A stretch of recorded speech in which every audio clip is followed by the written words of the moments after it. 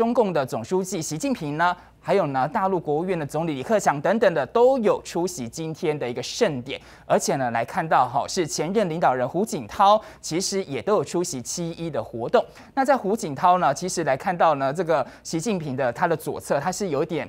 有白发蛮多的哈，那另外比较关注的是年逾九旬的这个江泽民呢，他是没有出席的。那习近平呢，他穿着也引发大家讨论，是这个中山装啊。那其余的中共现任啊，还有前任的高层，则是穿西装。习近平呢，他开创的是中式礼服，已经成为大陆的官员在国际重大的正式场合当中的着装样板。而这样的庆典呢，总计有多少？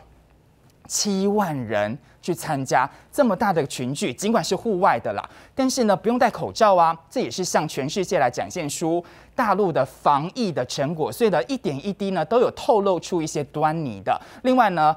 大陆国家主席习近平呢，这些人啊，他们是登上了天安门的城墙之后呢，城楼之后去观看直升机啦，还有战机等等的，像是呢编列成这个一百哈，待会我们会给大家看呢最新的影片，一百呢跟七一的字样越过上空之后呢，还有呢这个十五架的歼二零的战机组成了三个梯队。飞跃，最后呢，则是有教练机拉出这个十道的彩烟，非常的漂亮。其中有个亮点呢，是七一勋章啊，才刚获得的这个得奖者哈，张桂梅等等的人登上了天安门的城楼。张桂梅在接受七一勋章那颁赠仪式上，她有说呢，只要我还有一口气，我就要站在讲台上，倾尽全力。奉献所有，九死亦无悔。而这一次的七一勋章获奖者呢，获得者被邀请到了天安门的城楼上来观礼。那象征什么呢？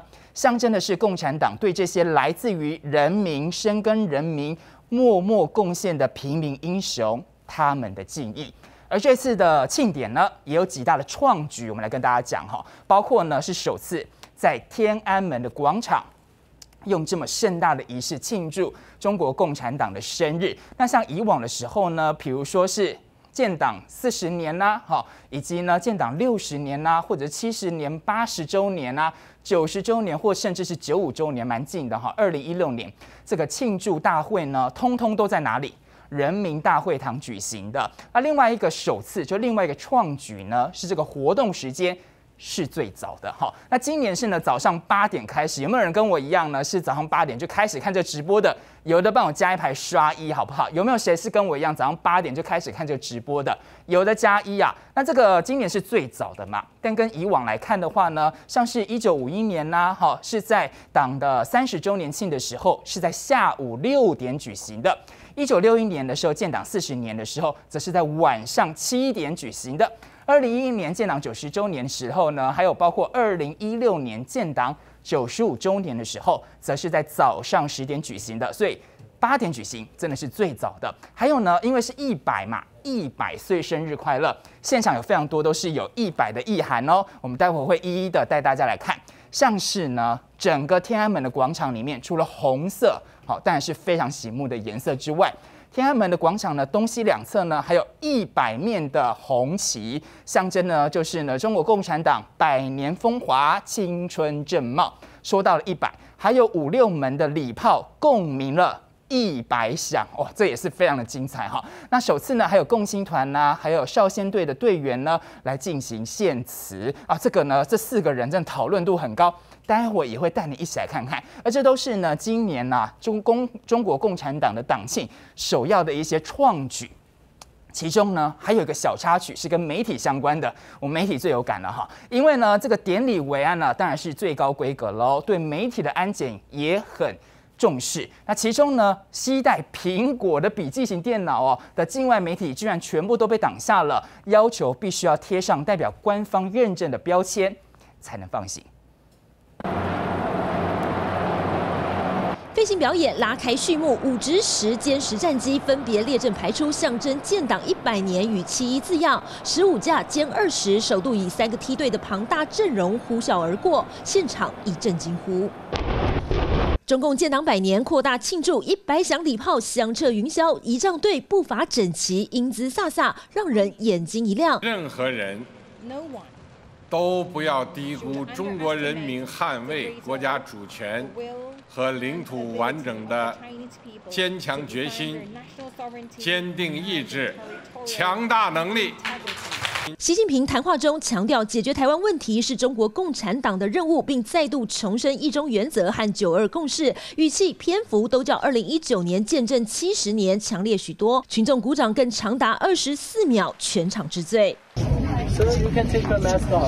或为彰显抗疫有成，大会八点开始前，工作人员纷纷要求现场七万人取下口罩。整场活动不过一个半小时，但采访媒体却起得比鸡早，得提早五个半钟头。凌晨两点半，隔离酒店集合，量体温、发请柬，再搭车前往世纪坛安检。水、一体食物通通不准带。记者线一人一台手机、笔电，还一度管制 Apple 不能用。经协调，比照摄影器材贴上核准标签后放行。五点前抵达天安门广场，还必须进行二次安检。建党百年，维安严谨，不容差池。记者李宗焕、杨七号北京采访报道。哦，看了这个不准戴口罩，真的让我们蛮有感触的哈。台湾是一定要戴口罩，那中国大陆呢，展现出防疫有神是。不准戴口罩，好，这一点呢就让大家很惊艳了，对不对？在庆祝呢中国共产党成立一百周年的大会上呢，中国人民解放军真的太精彩，等一下就要一起来看了哈。空中梯队飞越天安门的上空。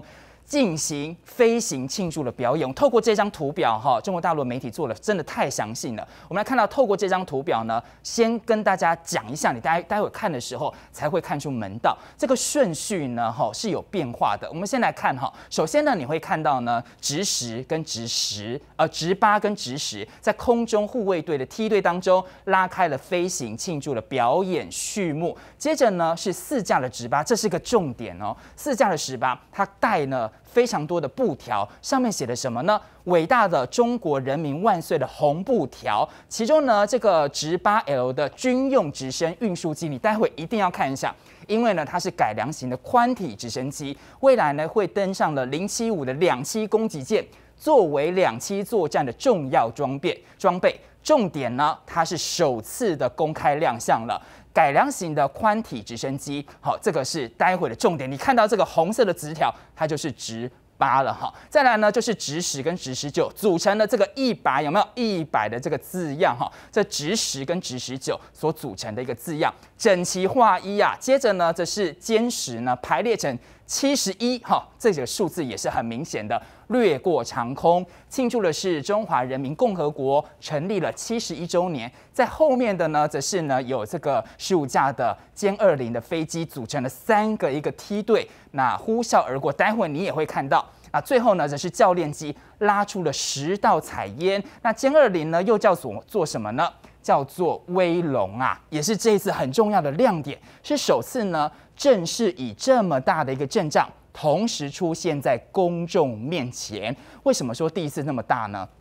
之前的歼二零同时出现的最高纪录是五架，当时是二零一九年的十月一号。中共呢见证七十周年，那场景也是在北京。中国大陆来看到空军专家叫做傅前哨，他就说十五架的歼二零是空前庞大的阵容出现，显示呢什么样意涵呐？这一款的战机在技术上已经是成熟的，而且进入量产的阶段，也有呢很多单位也开始来列装。我们一起来看看这一段精彩的画面。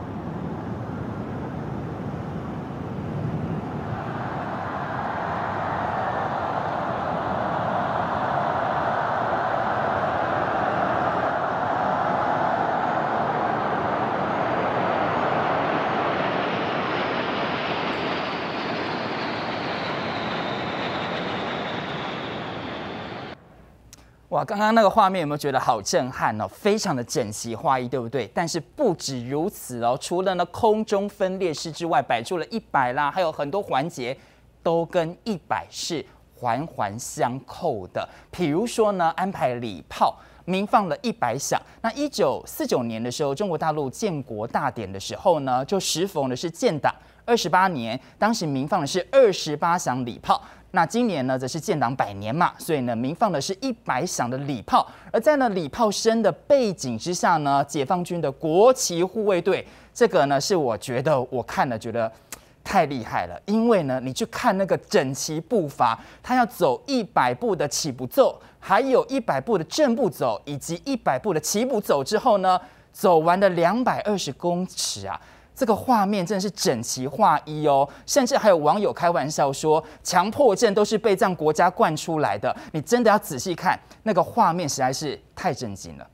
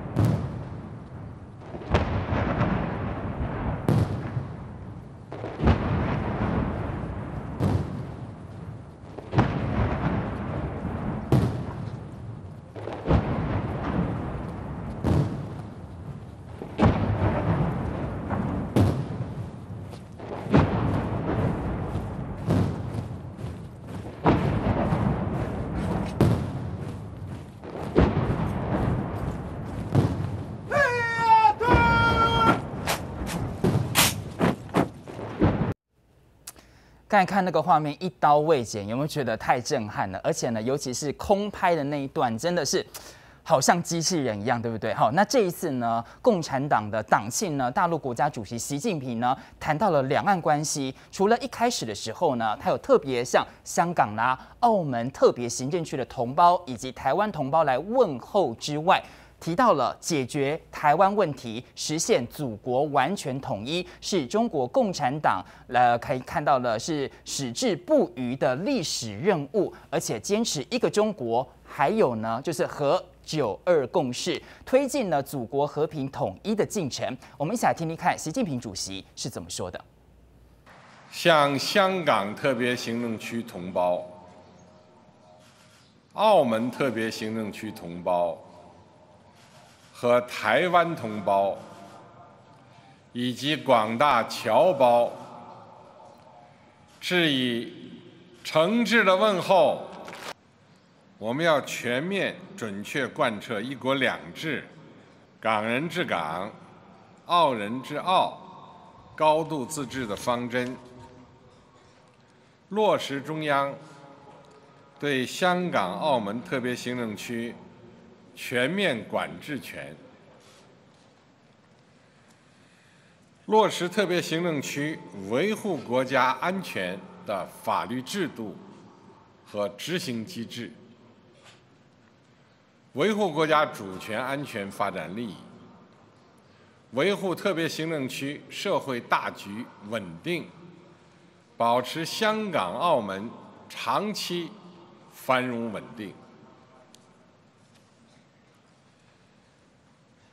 解决台湾问题，实现祖国完全统一，是中国共产党矢志不渝的历史任务。是全体中华儿女的共同愿望，要坚持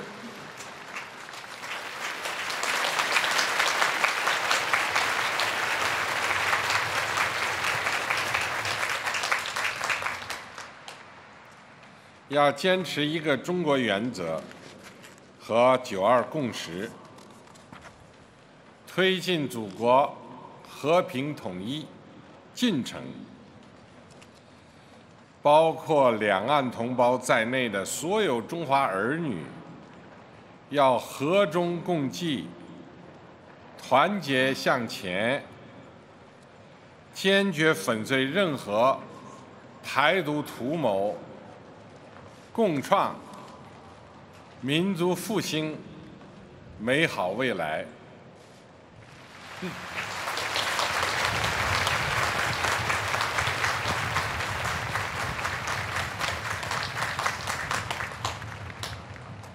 任何人都不要低估中国人民捍卫国家主权和领土完整的坚强决心、坚定意志、强大能力。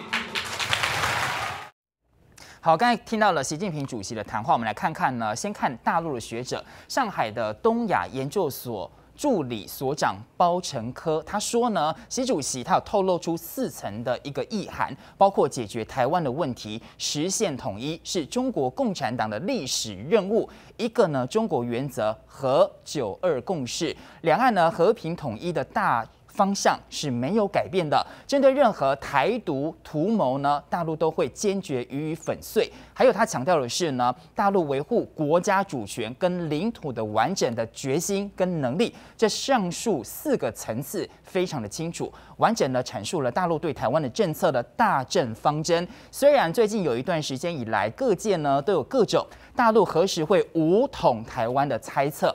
但是呢，习近平主席的致辞内容显示的是和平统一，还是大陆对台湾政策的主轴。而至于呢，习近平今天为什么没有提到一国两制台湾模式呢？那包成科说，认为啊，二零一九年的时候，习近平主席发表了习五条，当时的时空背景是要纪呃纪念呢。告台湾同胞书四十周年，是专门针对台湾的问题讲话的内容，当然会比较详尽呐，也有针对性。但是今天是纪念的是中共建党百年，那当然是总结这一段百年的历史。台湾问题呢，只是比较小的一部分，因此呢，篇幅是有限的，所以只能提纲挈领的完整陈述了基本的原则。不过呢，包成科指出来说，大陆从一九七九年发表了《告台湾同胞书》，以及和平统一，一直都是对台湾的基本方针，不放弃武力。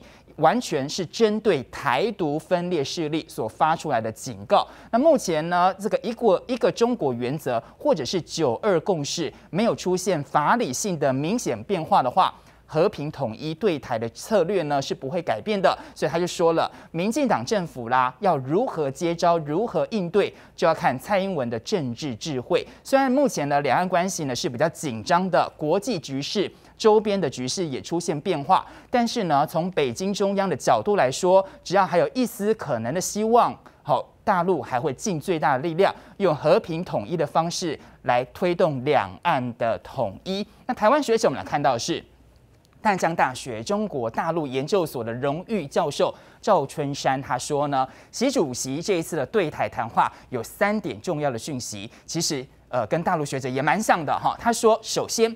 坚持一个中国原则和九二共识，那这一次是和，就是呢，呃，一中原则以及九二共识是切开的，并非过去呢一度所出所说的体现一个中国原则的。